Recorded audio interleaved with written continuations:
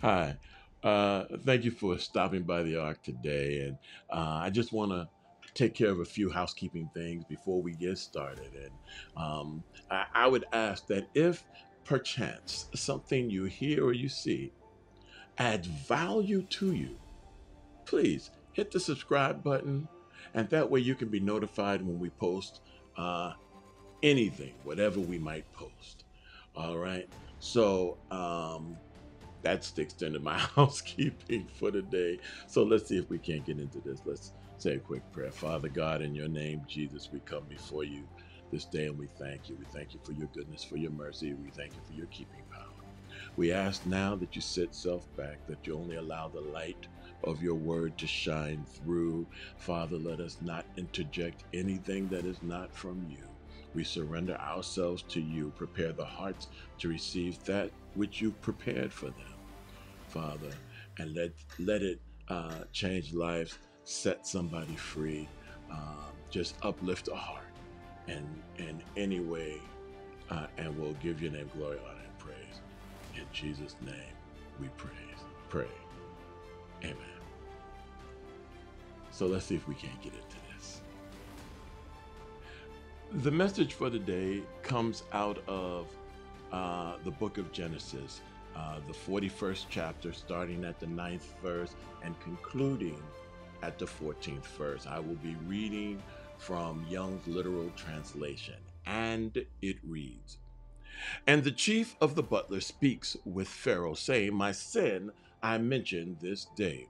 Pharaoh has been wroth against his servants, and giveth me into the charge uh, in the house of the chief of the executioners uh, me and the chief of the bakers. Um, and we dreamed a dream in one night, I and he, each according to the interpretation of his dreams. We have dreamed. Uh, and there is with us a youth, a Hebrew, a servant of the chief of the executioners. And we recount to him, and he interprets to us our dreams. Uh, to each according to his dream has he interpreted. Um, and, and it comes to pass as he has interpreted. Uh, to us, so it has been. Me he put back on my station, and him he hanged. And Pharaoh sends and calls Joseph, and they cause him to run out of the pit, and he shaves and he changes his garments and he comes in unto Pharaoh. All right. He changes his garments and he comes in unto Pharaoh. All right, let's get into this. We have been lied to, bamboozled, misled, and misguided. We've been told from childhood up that it only takes a moment to change one's circumstance. That that uh, it, it takes a kiss to awaken a princess. It takes a kiss and a frog can become a prince. To become a hero, you simply need to jump into a phone booth, rip off your clothes, and you become a Superman. It's a lie. A lie. Yeah, yeah, yeah. We've watched over and over again how people change their circumstance within two hours. Yeah, yeah, yeah, yeah, yeah, yeah. You become you can become fast and furious in two hours. Yeah, yeah. You can take on a Jurassic beast and win within two hours. You can tackle a mission that's impossible, not hard, impossible, and overcome it in two hours. And it's my belief that after seeing uh, uh, uh, so many fast results, that they've planted seeds in our psyche that pushes us into unrealistic and unreasonable expectations. Yeah, yeah, yeah, yeah, yeah. Unreasonable expectations. Uh, uh why else would you tell God how long you've been praying on a thing? Mm-hmm, mm-hmm. Why else would your expectation be that God should move on your schedule? Uh, you've got to understand that the woman who was loose was bound for 18 years. The woman with the issue of blood, yeah, uh-huh, uh-huh, she had issues for 12 years. Uh, understand that the man who received his sight was blind from childhood to adulthood. And here we find Joseph. He had two dreams. One said that his 11 brothers would bow down to him. The other said that the sun and the moon, his father and his mother, and the 11 stars, his brothers, would bow down to him. And the next thing that happens is he finds himself in a pit. Then he finds himself uh, sold into slavery. Then he's a servant at Potiphar's house. Then he's accused of rape. Then he's thrown in prison and then he's forgotten. Some commentators say that from the time he was uh, uh, uh, uh, uh, uh thrown in the pit and to the prison was 11 years. But the scriptures then tell us that he was forgotten for two additional years after he interpreted the butler and the baker's dreams. That's 13 years. Yeah, but, but, but, but don't worry because I've come to encourage you today. You might be going through something. I know we're having this whole pandemic thing. I know we're on lockdown. I know all kinds of things are happening in our world at this time, and it looks like there's no hope, there's no chance, and it's all a surprise to us. But I want you to understand that my subject for today, which is this is not a surprise, it's a plan. Now, let me break this down. There's three reasons I know that this is not a surprise, it's a plan. And the first reason is because God knows you. Uh, don't you find it strange that Joseph not only interpreted dreams, but he also interpreted time? Uh, he, he, he told the, the, the butler that uh, uh, the three vines meant three days and you'd be restored to your office. He told the baker that the three baskets meant the three days and you would be uh, hanged. He told Pharaoh that the seven fat cows were seven years of prosperity, and that the seven thin cows were seven years of famine that the seven plush grain were seven years of prosperity, and that the seven uh, uh, drought stricken grains were seven years of famine. However, God didn't reveal to him the time frames of his dreams. Now he knew it was going to happen, and you know how I know he knew that? Because he told Pharaoh that when God repeats a dream, that means it's established and that he's hastening to perform it. So he knew it was going to happen. But God didn't give him a time frame. That's right. Read it in verse 32. That's when he tells him if God repeats it, then it's established and he's going to hasten to do it. God repeated his dream twice. Joseph's dream was repeated twice, but yet he wasn't given a time frame. Here you have Joseph, 13 years going through his ordeal, holding on to a promise, and not clear as to what's going on. Why wouldn't he tell him? Better yet, why won't he tell you when your deliverance will come? Simple because he knows you. He did it to the children of Israel. Look at it in Exodus, uh, the 13th chapter and the 17th verse. He said that he took them the long way around because he was concerned, knowing them, that they would be afraid at the prospect of war with the Philistines and return back to Egypt. He knew them. So he took them the long way around. He did it to David. Uh, do you think David knew when he was facing the lion and the bear it was because of Goliath? No. He didn't know that. Do you think he knew that when he killed Goliath, it was to raise his notoriety amongst the people that he was going to lead? No, he didn't know that. And after he was anointed to be king, and he was serving under Saul at the table of Saul, and Saul was slinging spears at his head, do you think he sat there and said, But hold it, wait a minute, I'm the king? No, David ran because David was like, He is going to kill me. I know you anointed me king, but when is it going to happen? You ain't tell me. And this man is throwing spears at my head. And now God's doing it to you. Why? He promised you deliverance. He promised you victory. He ain't tell you when it's going to move, but he promised you. And why? Why wouldn't he tell you?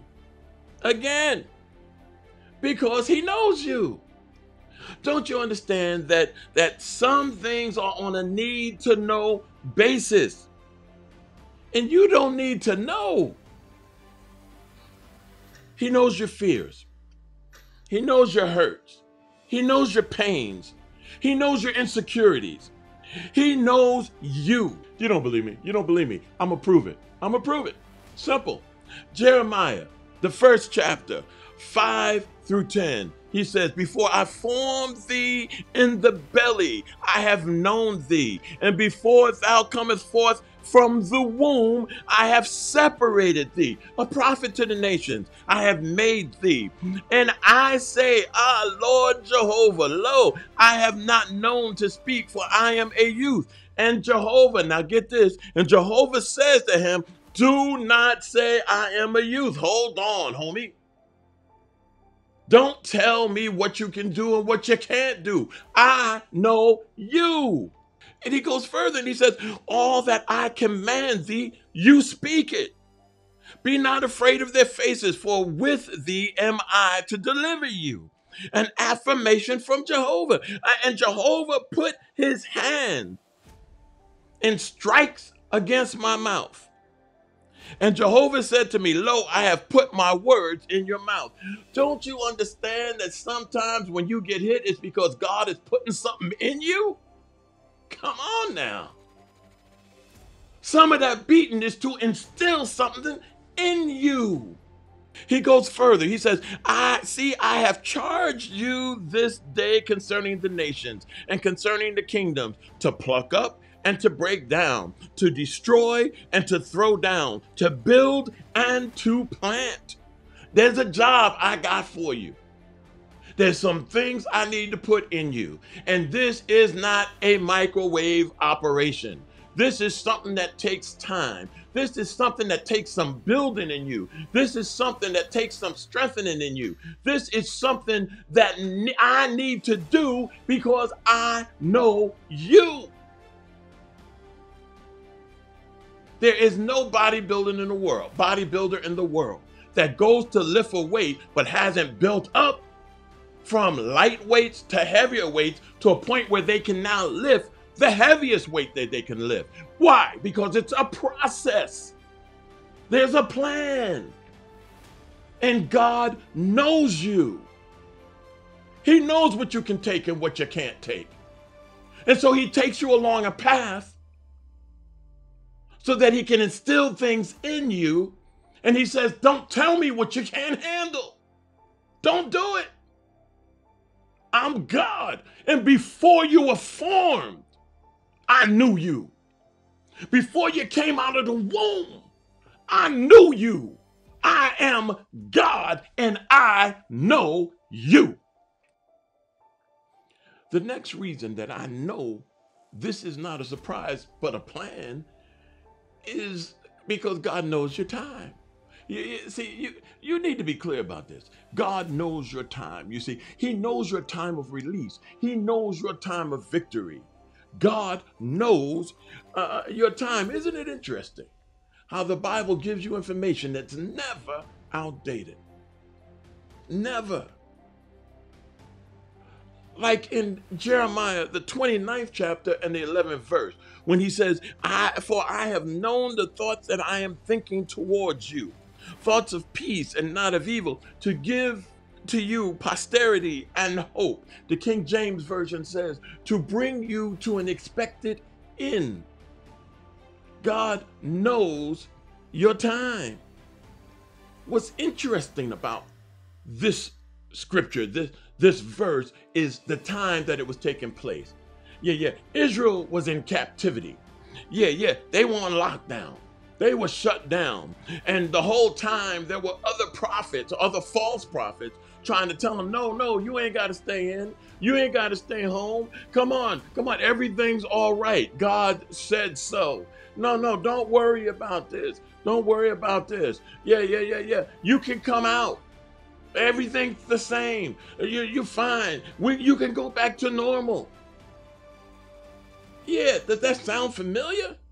False prophets telling them, don't settle for this. Fight this. God said it's okay. Fight this. Don't settle. He said he's going to bring uh, uh, uh, the vessels from the temple back to Jerusalem. You ain't got to stay in Babylon. Come on, fight, fight, fight, fight. Come on. And Jeremiah, the lone prophet, standing against the false prophet, saying, Stay where you are, stay at home, build houses, expand your families. God is going to keep you in this circumstances. I know you're in captivity right now. I know it's an uncomfortable situation, but stay where you are. God said he will preserve you if you stay where you are.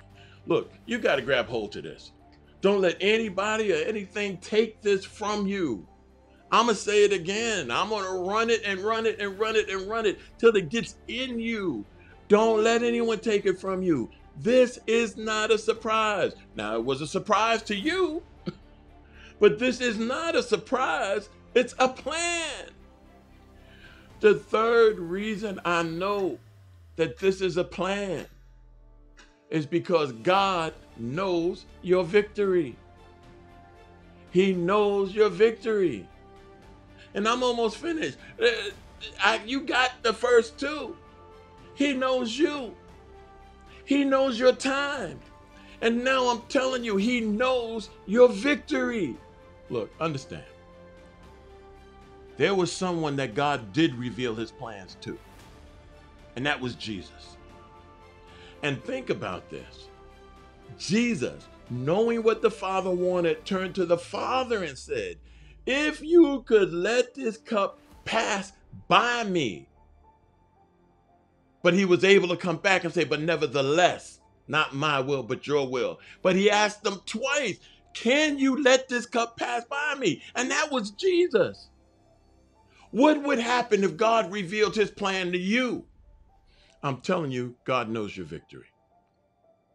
You got Joseph now coming to the end of his journey and getting ready to walk into his victory.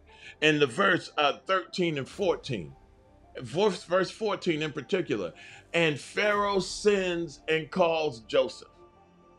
And they get him to run out of the pit. He shaves, he changes his clothes, and then he stands before Pharaoh. And now we find Joseph now at the end, starting where it began. His brothers bowing down to him, his family bowing down to him, him elevated to a place of authority so high in the kingdom that everything had to go through him if it was going to happen. Second only to Pharaoh. Now, think about this from the prison to being second only to Pharaoh. Come on now. Tell me God don't know your victory.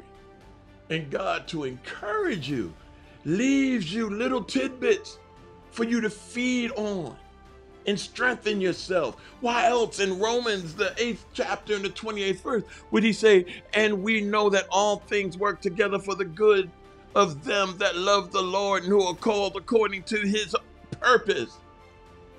It's a tidbit to strengthen you.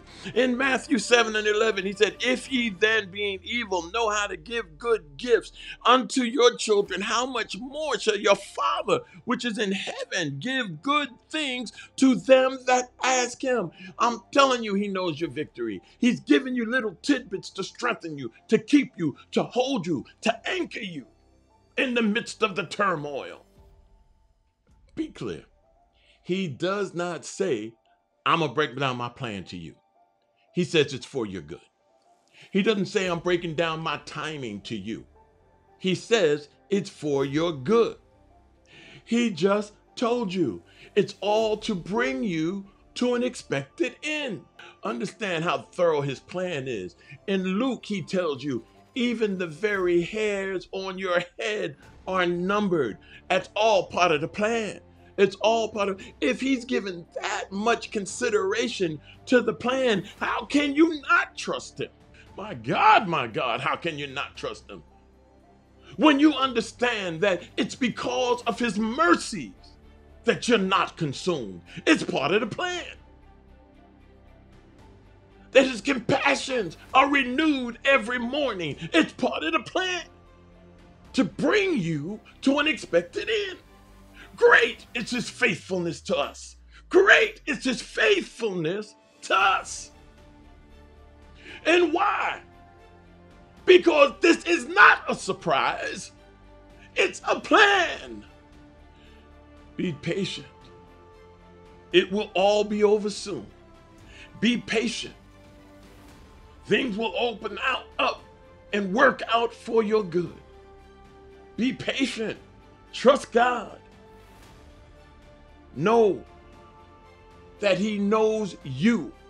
Know that He knows your time. And know that He knows your victory. And more than all of that, know that this is not a surprise, but this is His plan. God keep you. God bless you. And again, if there's something you heard today that has added value to you, please hit the subscribe button and you can be notified whenever we post something else. All right, God bless you. God keep you. Stay safe. We pray for every family that has lost a loved one. We pray for peace. We pray for calm. We pray for victory. In Jesus' name, amen.